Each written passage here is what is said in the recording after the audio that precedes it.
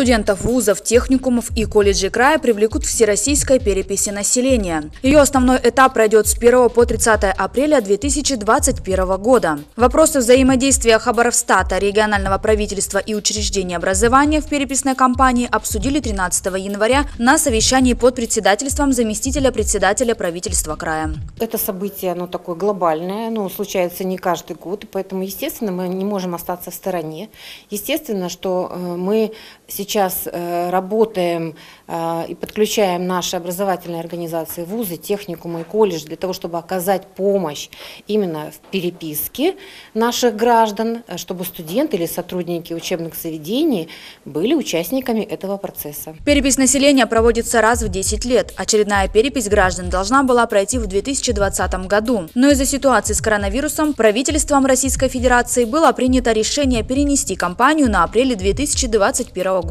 Особенностью этой переписи стала возможность ответить на вопросы удаленно в электронном цифровом формате. Выбор в пользу студентов в качестве переписчиков обусловлен тем, что для опросов будут использовать не бумажные анкеты, а планшеты. Нужно, во-первых, отметить, что данная перепись будет уже проводиться не на бумаге, а на планшетах. То есть здесь уже понятно, что и техническая грамотность уже должна быть соответствующая. То есть обучение будет проводиться накануне переписи, буквально нам нужно два дня, чтобы провести протестировать, да, то есть обучить, да, то есть программе, которая будет установлена непосредственно на этих планшетах, планшетах.